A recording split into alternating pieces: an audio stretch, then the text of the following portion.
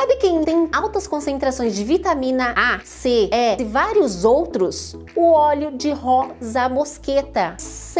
100% vegetal. Ele é regenerador, ele é indicado para hidratar profundamente mais a sua pele. Se você tem uma pele muito lipídica, procure diluir ele que seja à base de um sérum ou então de um gel. Ó, na minha mão coloquei o gel de aloe vera, que é exclusivo da nossa loja virtual. Pele lipídica, você vai utilizar duas gotinhas do óleo de rosa mosqueta de alta concentração. Agora, se você tem a pele assim, alípica seca, você vai colocar cinco gotinhas. Mistura bem e você vai passar onde você desejar, no seu rosto, no seu pescoço. Também pode misturar com uma boa vitamina C junto com o olhinho de rosa mosqueta. Agora, quer estimular muito mais ainda a produção do colágeno? Você vai colocar duas gotinhas do óleo essencial de lavanda francesa.